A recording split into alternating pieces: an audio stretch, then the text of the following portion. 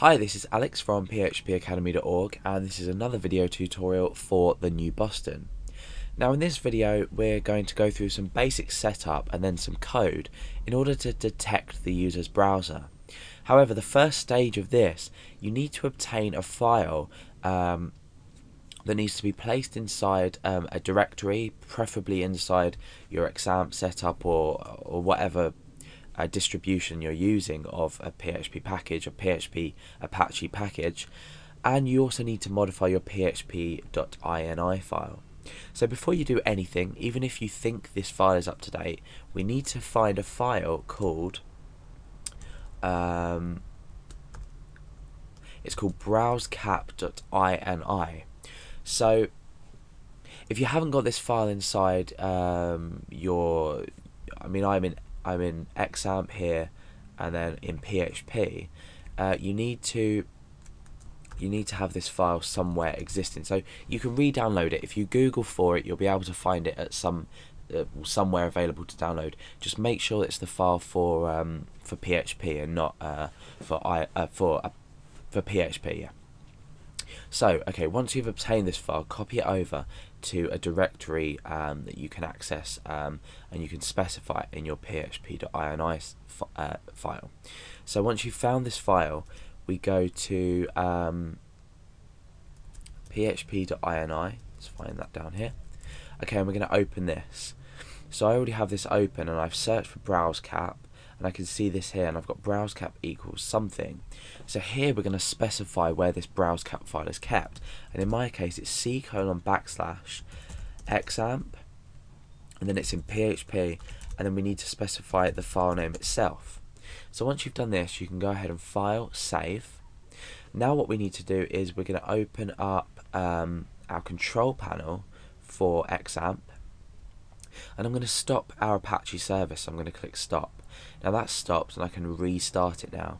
So our php.ini uh, settings have been uh, initialized by our reset of this. Now what we need to do is come into context and I'm going to introduce you to a function that's going to allow us to get data about the browser. So now, as if you've correctly downloaded browscap.ini, put it inside a directory and changed your php.ini to point to that file, this should work. If it doesn't work, then uh, check you've done absolutely everything right and you've restarted Apache as well. So, inside context, I'm going to create a new variable called browser, and this is going to be equal to a function get browser. Now, this function takes two arguments. The first argument is the user agent, which we could obtain from um, the dollar underscore server um, HTTP user agent. However, we're not going to do that. We're just going to specify the value of null. Now, the second, um, the second uh, argument that we need to provide is whether we want this to be returned as an array. And we do want this to be turned, returned as an array because that's how we're going to use it later on. So you just simply put true here. You can put 1 if you want, but it's probably just better to put true. So, how are we going to echo out all of the uh, array contents? Well, we're going to use the print r for this, and we're going to obviously put uh, the browser um, reference to the array in there. So now let's refresh the page and see what happens. Right, okay, so you can see that it's returned quite a few bits of information about my browser.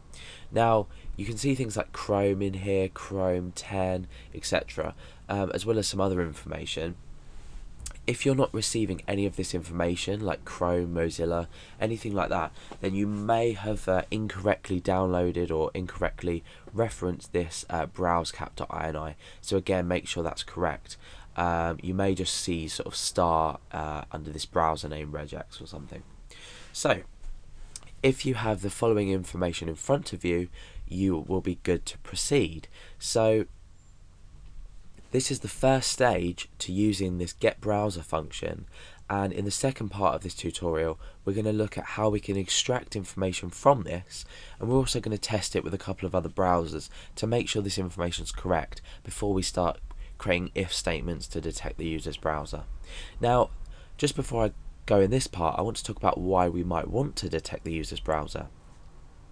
It's always an important part of when you're viewing a web page to format things correctly for users, um, and also you might want to notify users that using another browser might be better to display your web page. So when you are when you are creating a web page, it might look slightly different in other browsers, and if you want to say say to a user, uh, download download Google Chrome, it's this is going to work a lot better then you can recommend, say, Google Chrome to your users in order for them to switch their browser, in order for them to view your page a lot better.